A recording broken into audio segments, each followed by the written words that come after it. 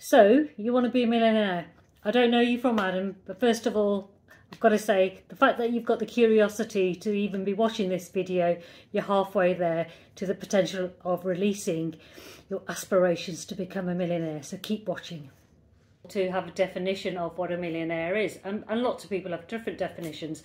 Um, the simplest definition of a millionaire might be your assets less your liabilities, i.e., any money that you O uh, equals your net worth. And that's a very simplistic way of looking at it. So that your net worth, if it's a million, you're a net worth millionaire.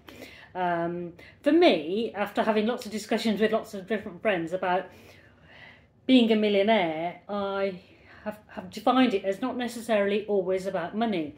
And for me, it's very much about how I choose to spend my time, what values I have, and how I spend my time around those values. And I think if you can put your hand on your heart and say, I today can choose what I'm doing and tomorrow, and I don't need to go to work nine to five, sit in the traffic, earn the money to pay for that car, that house. Uh, if you're totally in control, um, then that is a priceless activity. And that's about being, in my mind, a social millionaire how you choose to spend your time. And that transpires through a, a variety of things how you live and what you do and what you spend and what you invest.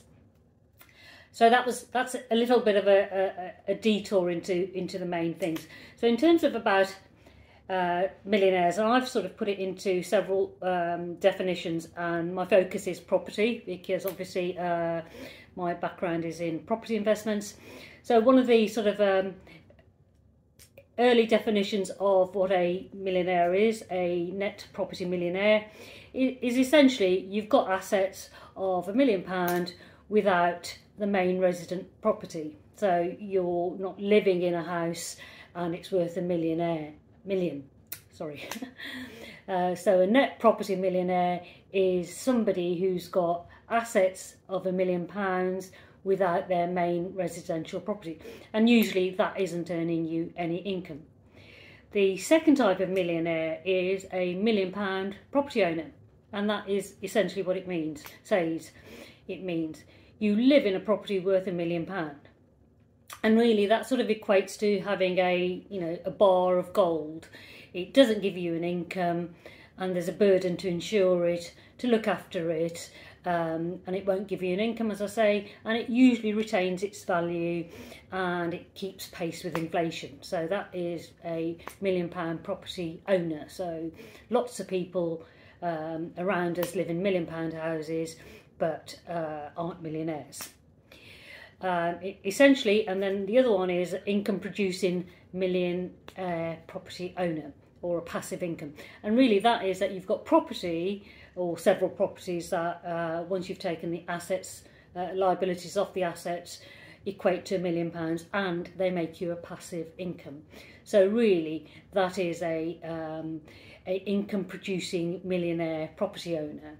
So that's essentially what we are. We've got properties that are worth several million pounds and they're making us a passive income. So we don't need to be there, uh, still maintain that passive income, have an income and lead a life where you choose to spend your time.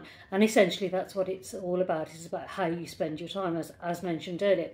Now, um, some of the tips are uh, those three categories I gave you about the net worth millionaire, the millionaire property owner and the passive income millionaire all require different skills and traits and patience is obviously one of them.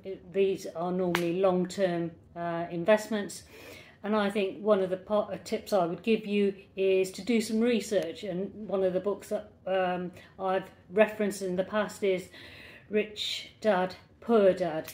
And in there it talks about sort of marginal gains and doing things differently. It's not the only book, it's not the best book, but it's definitely a book that you should read and possibly get some ideas from.